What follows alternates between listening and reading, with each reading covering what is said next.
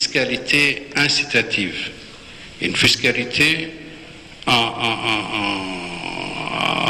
relation avec l'objectif défini par la politique du euh, gouvernement.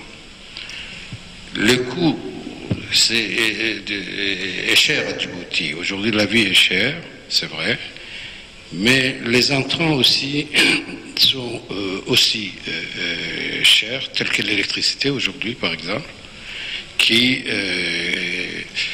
coûte cher au niveau de l'hôtellerie à, Djibouti. Donc il faut euh, une politique cohérente qui prend en compte l'ensemble des paramètres, que ce soit l'énergie ou la formation ou la fiscalité.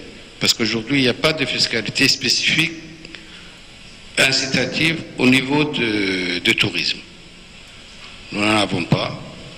Euh, c'est une activité comme les autres. Euh, voilà, donc il faudrait peut-être, puisqu'on veut donner une priorité au développement de ce domaine, euh, voir, revoir la fiscalité pour qu'elle soit plus incitative. Voilà, je vous remercie.